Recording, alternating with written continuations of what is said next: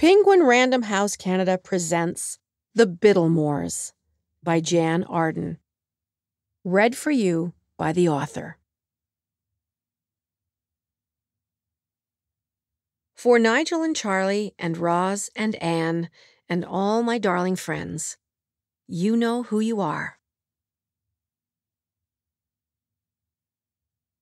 Life on Bittlemore Farm. A prologue. Harp Bittlemore is a horrible man. The third generation of Bittlemores to farm a miserable piece of land in the far northern parts of what everybody around here just calls the Backhills. It wasn't always miserable. Not so long ago, it was lovely and green and full of so much good. Now it's 167 acres of mostly bare dirt and rock and clay and ancient dead tree stumps that poke out everywhere like tombstones. On the other side of Harp's jagged barbed wire borders, things are still green and lush and teeming with life. At least they are in the middle of a back hill spring. Ancient blue spruce trees thrust themselves out of the dark, rich earth straight and tall. Flowers bloom and birdsong winds its way around every long blade of grass, and butterflies flit and fat, black, and yellow bumblebees hover. But most of what Harp barely manages to husband on his sorry piece of earth is misery. He and his wife raise some straggly chickens who at least know how to fend for themselves if given a chance. A man has got to eat.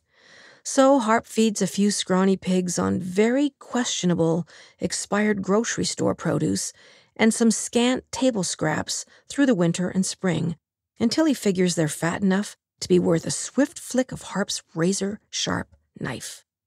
He chops them into rustic chunks that his Mrs. Bittlemore stuffs into the freezer or to cure in oak barrels full of rock salt and a few sprigs of rosemary. If only his pigs could put on weight as easily as his wife of 32 years seems to do. His dairy herd of 25 has dwindled to three worn out cows, solemnly waiting their turn to be sent to slaughter. Harp often says, Nothing is so useless as a spent cow or a barren wife. Though every time he does, his wife gives him a searing look that would set the last few strands of hair on his head ablaze if she had her way. His sad old cows have blistered bald patches and fresh burns on their hides from where Harp butts out his cigarettes while he's milking them. He doesn't want to set the barn on fire, after all. He's tugged so hard for so long their teats nearly drag on the ground. Nothing in the world is as sad as a sad cow. Harp catches his reflection in their big brown eyes on occasion. It takes him a moment to realize that the old man floating on that liquid globe is him. The cows' lives depend on filling Harp's pail with enough milk to keep his wife happy and to keep butter on the table, and they know it. These cows know a lot of unfortunate things about the Bittlemores. Harp starts every morning with a hand rolled cigarette and a mug of coffee that his wife brews thick and black for him. He uses it to wash down a half dozen fried eggs, most of a pound of streaky bacon, and three thick slices of homemade bread and butter. He stares out the window at the chickens running around the yard, poking at the earth in search of a bug or a bit of forgotten grain, and doesn't think about anything. He doesn't read the paper or turn on the radio or try to make conversation or even say good morning to his granddaughter, Willa, when she comes down the stairs to get some breakfast before she heads for school. That useless granddaughter, another creature he's got to feed, and about whom his feelings are not what they should be. Harp is never sure about how he should feel about anything. There is a blank in him that gets bigger every year, filled with white noise.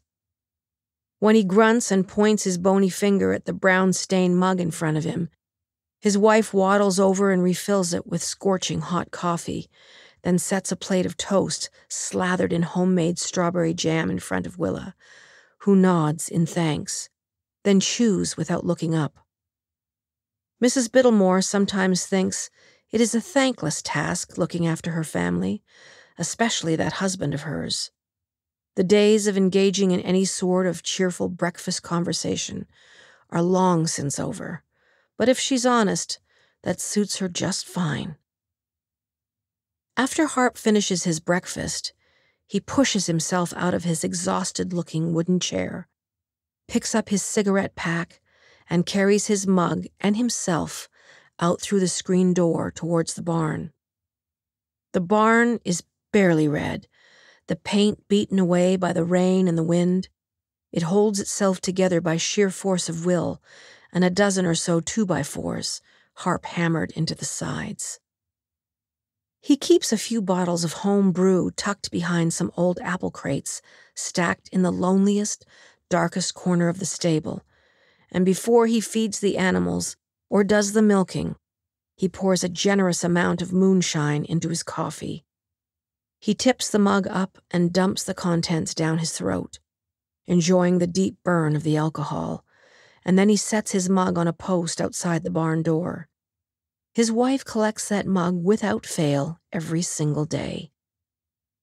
Depending on how he feels after the animals are dealt with, he may or may not fix a hinge on a gate, or straighten a fence post, or wind up some stray pieces of barbed wire, or move the bales in the haymow a little closer to the chute into the stable below. Sometimes, if he is particularly energetic, he wanders over to the water trough outside the barn and pumps in a few gallons of water. He doesn't bother to scoop the scum and the hundreds of dead beetles and flies off the top of it. Why would he when the cows have learned to push all the crap aside and suck the somewhat decent water up ever so slowly through their teeth? Either that, or wait for a hard rain that may or may not fill up the slough in the east field and quench their thirst there. Neither option is all that great. As Harp muddles through his chores, he replaces the cigarette constantly dangling from his mouth with a wad of chewing tobacco which makes him spit constantly, splattering his boots and pant legs. He wipes the brown liquid off his chin with the sleeve of his plaid shirt. He spits onto anything and everything the side of the tractor, or the door of the barn. He'll even shoot a glutinous stream towards a chicken shuffling past. If he is lucky enough to hit one, he'll let out a hoot and slap his knee. There is joy to be found in the misfortune of others, a dark, quivering joy. If Mrs. Bittlemore catches him spitting on her chickens, she cracks him on the head with her wooden spoon. Running that risk also gives Harp some kind of a pleasure filled rush, though he's not sure why. On top of all the kinds of miserable bastard he is, Harp is cheap though he convinces himself he's simply being frugal, a man who knows how to stretch a dollar. He feeds the pigs rotten Spanish onions and other leavings he scrounges from the Dutchman's grocery store in town. Whatever Dutchy throws out back every Wednesday, Harp collects in his truck. Sometimes it's squash or coffee grounds or eggshells. Sometimes it's potatoes or apples or expired boxes of crackers. Sometimes it's old bread, or donuts, or rancid yogurt, or moldy strawberries. Whatever is unfit for the customers, the pigs end up with in their bellies. The pigs don't dare complain, because at least it's something. Though both the pigs and Harp are now wary of the wayward Hutterite cabbages, having experienced the rapid blasts of diarrhea a feed of those once caused. After that, Harp decided that an off cabbage is never worth trying to save, not even for a pig. The cows get a half bale of hay between the three of them. It's not enough, but they're grateful it's hay. Harp tried them on some rotten pig onions once, and they did reluctantly eat them up. The cows are always hungry, even when they're out to pasture, given the pasture is either a giant mud bath or a withered field of clay dust. But his wife said the onions made the milk taste and smell something terrible and threatened to stop baking. Too lazy to do anything right anymore, Harp only milks the cows every second day, and the cows are also grateful for that mercy. even though their udders get quite achy. Harp seldom resists a cruel urge when it comes to them. On milking days, he lingers like foul smoke in the stable after he's done. We hope you enjoyed this preview.